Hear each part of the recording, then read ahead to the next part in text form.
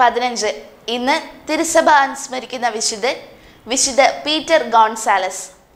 സ്പെയിനിൽ അസ്തോർഗ എന്ന പ്രദേശത്ത് ഒരു പ്രസിദ്ധ കുടുംബത്തിൽ പീറ്റർ പൂജാതനായി പഠനത്തിന് സമൃദ്ധനായ ഈ ബാലൻ വൈദിക പഠനം ആരംഭിച്ചു.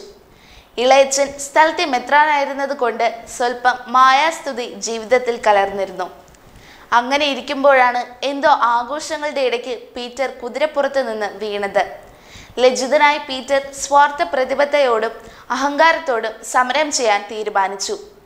വിജയം സുരക്ഷിതമാക്കാൻ അദ്ദേഹം ഡൊമിനിക്കൽ സഭയിൽ ചേർന്നു. ലോകാരൂപി സന്യാസ മന്ദിരത്തിൽ കടന്നു ചെന്ന് അദ്ദേഹത്തെ ലോകത്തിലേക്ക് മാടി വിളിച്ചെങ്കിലും ദിവ്യപ്രകാശം അദ്ദേഹത്തെ മുന്നോട്ടേക്ക് നയിച്ചു. എളിമയിലും പ്രായശിത്തത്തിലും ഉറച്ചുനിന്ന് ദൈവവചനം പ്രസംഗിക്കുവാൻ അധികാരികൾ അദ്ദേഹത്തോട് ആജ്ഞാപിച്ചു. ശിഷ്ടജീവിതം അദ്ദേഹം അങ്ങനെ ജി- ചെയ്തു.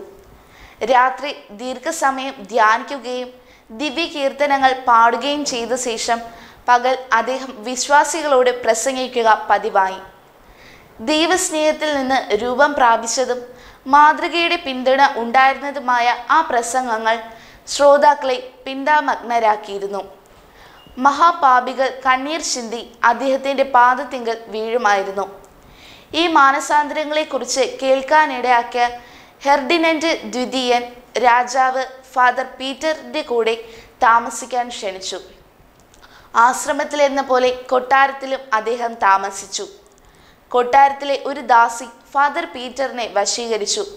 പാപത്തിൽ വീഴിക്കാമെന്ന് വീമ്പടിച്ച ശേഷം തനിച്ച് ഫാദർ പീറ്ററിന്റെ മുറിയിൽ ചെന്ന് കുമ്പസാരിക്കാൻ ശ്രമിച്ചു. പാപത്തിൽ വീഴിക്കാമെന്ന് വീമ്പടിച്ച ശേഷം തനിച്ച് ഫാദർ പീറ്ററിന്റെ മുറിയിൽ ചെന്ന് കുമ്പസാരിക്കാൻ ശ്രമിച്ചു. പാപത്തിൽ വീഴിക്കുകയായിരുന്നു ലക്ഷ്യം. അവസാനം അവൾ മാനസാന്തരപ്പെട്ട് ഒരു നല്ല കുമ്പസാരം നടത്തി. യുദ്ധത്തിൽ വിജയം വരിക്കുമ്പോൾ മോഹവികാരങ്ങളെ നിയന്ത്രിക്കാനും കവർച്ചയ്ക്കുള്ള തൃഷ്ണയെ കൈവെടിയാനും പടയാളികളെ ഫാദർ പീറ്റർ ഉദ്ബോധിപ്പിച്ചു. പരിശുദ്ധനായ രാജാവിന് ഇത് വളരെ ഇഷ്ടപ്പെട്ടു. ദരിദ്രരോട് പ്രസംഗിക്കാൻ അദ്ദേഹം കൊട്ടാരത്തിൽ നിന്ന് പോയി. കാടും മലയും കയറി അത്യന്തം കഷ്ടപ്പെട്ടിരുന്നു. കബോസ്തലാം രൂപതയിലും ടൂയി രൂപതയിലും അദ്ദേഹത്തിന്റെ പ്രസംഗങ്ങൾ മഹത്തായ പ്രതികരണങ്ങൾ ഉളവാക്കി. ഈ പ്രസംഗങ്ങളുടെ ഇടയ്ക്ക് ക്ഷീണിതരായി അൻപത്തി ആറാമത്തെ വയസ്സിൽ ടൂയി രൂപതയിൽ വച്ച് അന്തരിച്ചു.